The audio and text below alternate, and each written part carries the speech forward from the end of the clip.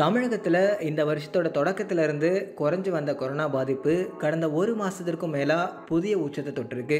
அதனால் ஏற்படக்கூடிய உயிரிழப்புகளோட எண்ணிக்கையும் ஏராளமாக அதிகரிச்சிருக்கு.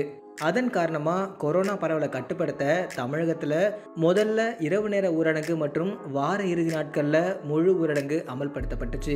ஆனாலும் கொரோனா குறைந்த பாடில்லை அப்படிங்கிறதால கடந்த மே பத்தாம் தேதியிலிருந்து வர இருபத்தி நாலாம் தேதி வரைக்கும் முழு ஊரடங்கு தமிழகத்தில் அமல்படுத்தப்பட்டிருக்கு.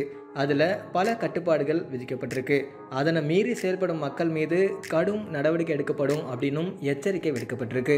நேற்று ஒரே நாளில் மட்டும் கொரோனா பாதிப்பு முப்பதாயிரத்தை கடந்திருக்கு.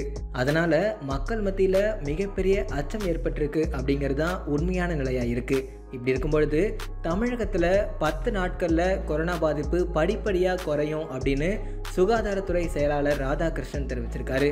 கொரோனாவை கட்டுக்குள்ளே கொண்டு வர தொடர்ந்து நடவடிக்கை எடுக்கப்பட்டு வருது அப்படின்னும் பாதிக்கப்பட்டோரின் எண்ணிக்கை உச்சத்தை அடைஞ்சு பத்து நாட்களில் கணிசமாக குறையும் அப்படின்னும் அவர் தெரிவிச்சிருக்காரு.